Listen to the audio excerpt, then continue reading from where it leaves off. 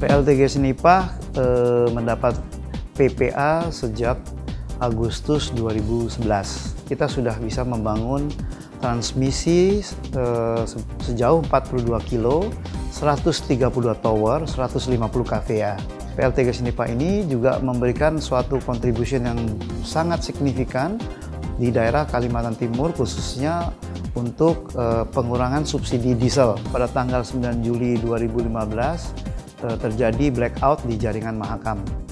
Jadi hampir uh, ketiga kota besar di Mahakam itu mati lampu. Nah, masalahnya adalah pada saat blackout itu selesai, engine kita masih mengalami stuck, tidak dapat di start. Ada Quick Response Center, KRC. Nah, dari situlah kami coba menghubungi via KRC.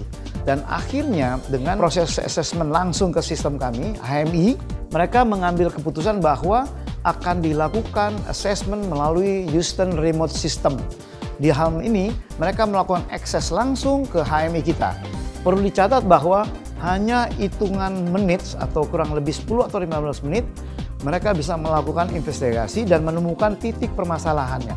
Dan dari situ pula KRC melakukan pembetulan dalam arti engine bisa kembali dinyalakan. Kemarin eh, kita shutdown kurang lebih atau mesin trip itu lima hari sehingga kita dalam lima hari itu mengalami kerugian sebesar satu juta dolar.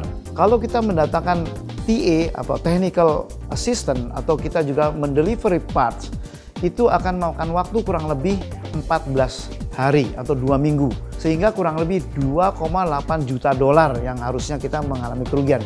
Namun dengan bantuan KRC kita dapat dalam waktu lima hari menyelesaikan masalah ini maka kita bisa save sebesar 2,8 juta dolar dikurangi 1 juta yang harus kita bayar menjadi hanya 1,8 juta. Kami perlu mengapresiasi bahwa selama ini khususnya KRC sangat membantu dalam hal percepatan penanganan problem. Dengan kerjasama yang baik antara kami dengan KRC, akhirnya kami mendapatkan suatu apa namanya solusi di mana kami bisa mempersingkat waktu percepatan untuk penanganan problem.